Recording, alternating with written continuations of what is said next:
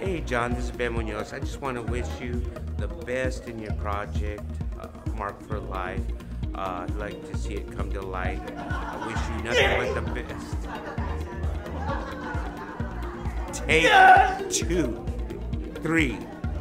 This guy. John, you, you knew, you already know how Jack is. Anyhow, I. John, this is Ben Munoz. John, this is Ben Munoz. I wish you the best and a prosperous one. This guy cannot uh, cut, cut, end. Oh my lord. John, I have never been on a movie set with such an idiot like Jack Neal. Jack Neal is such, such an idiot. Every movie I have ever done, this guy has just diminished everything that I work for. this guy. John, I wish you the best before he comes back and does something stupid.